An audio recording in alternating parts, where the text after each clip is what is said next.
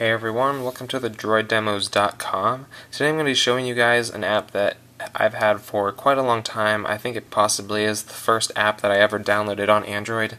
I used it on my friend's G1 that he got on launch day, and as soon as I got an Android phone, I downloaded it. It's called GPS Status.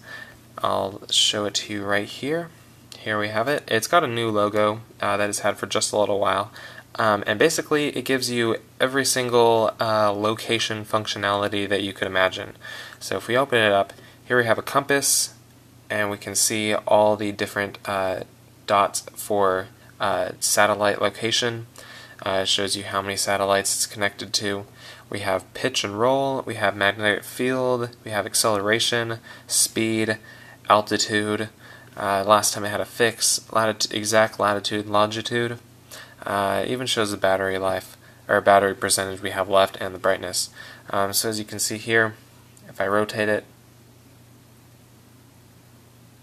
here we have the, the compass working.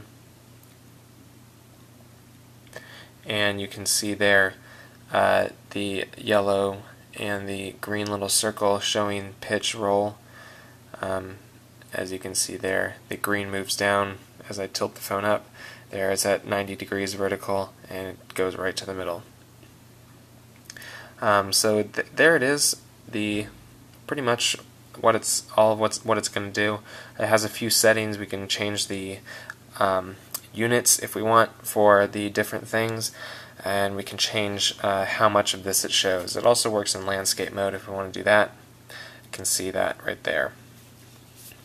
Um, one of the main uh, main things I like using it for uh, in the car um, to be able to see acceleration on that, um, speed, whatnot. Uh, also, if you want to uh, break the rules and use it on takeoff uh, when you are catching a flight, it's really interesting, and you can see the speed go all the way up to four or five hundred miles an hour, and the altitude all the way up to 20, 30,000 feet, whatever it is, uh, you can see all of that happen re in real time, which is really cool.